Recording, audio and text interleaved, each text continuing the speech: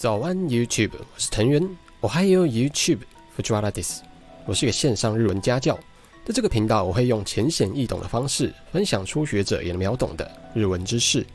上次我们介绍了表示存在的动词います跟あります这两个动词的前面通常都会有表示存在场所的助词に跟存在主体的助词が或是哇。 今天我们就是要来介绍用が跟哇在意思上有什么区别。对吧？哈基米马修。上集的文型都是用が来表示存在主体，这次我们要来看哇的话会变成怎么样。文型三跟文型四这两句也是一样的结构。友達は東京にいます。朋友在东京。ユニバは 大阪にあります。环球影城在大阪，都是一个主题，因为前面都有一个名词放在前面，才加上助词哇，然后才放存在地点的助词你，最后也是我们可爱动词います跟あります。如果是像文型三跟文型四的话，这表示我们是在讲一个话题，哇的前面就是那个话题。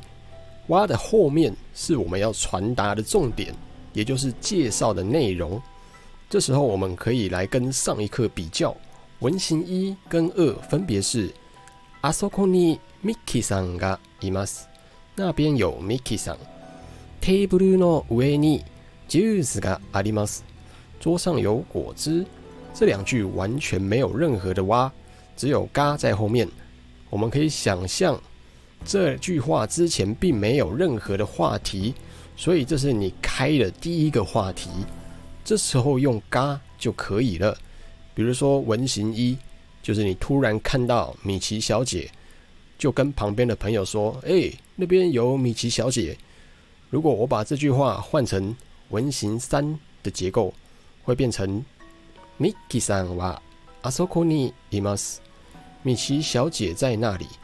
这句话比较像是你旁边的朋友问你：“米奇小姐在哪？”米奇さんはどこですか？然后你才会回答这句。